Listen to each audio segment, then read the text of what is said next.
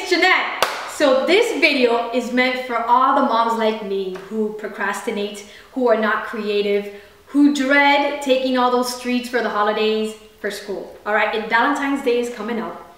And you know the drill, you gotta go get the little bag, put the chocolate, put the pencils, put the erasers. We don't need any more chocolate. Our kids do not need those cheap pencils that don't work after you sharpen them. So, and nobody has time for that. I have your solution. All right, boom, chicka pop.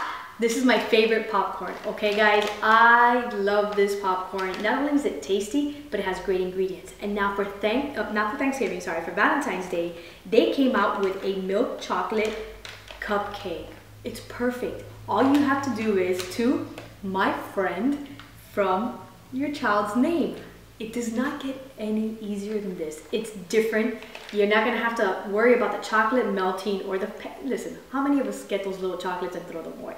I keep a few, but it's just too much. The ingredients are great. One teaspoon of sugar, uh, popcorn, sunflower oil, cane sugar, cocoa powder, skim milk powder, sea salt, and natural flavor.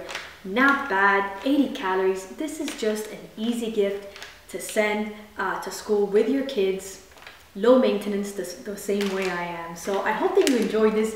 Use it. I got this uh, bag at Target. 12 snack packs. I'm ready to go, which never happens. I'm the mom that at the, the, the at February 13th, I'm running around to the dollar store to Target, but I am ready.